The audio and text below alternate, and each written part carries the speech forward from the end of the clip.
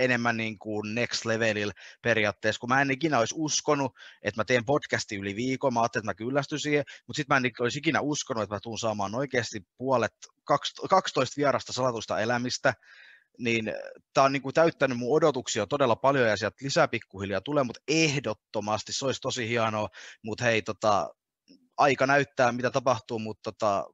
on mulla ainakin sit joku CV-näyttö tuolla mun YouTube-kanavalla, jos joku haluaa eksyä sinne, niin olkoon tämä mun avoin hakemus ehkä siinä samaa sit, mutta siis tota, totta kai olisi hienoa, ja tässä on just se, että mä oon tämä ei ole pelkästään ollut se, että he on ollut mun vier, jotkut on ollut mun vieraina, ja se on ollut siinä, että tässä on hyvin pidetty yhteyttä tiettyihin ihmisiin sieltä päin myös, ja se on tosi hauskaa, koska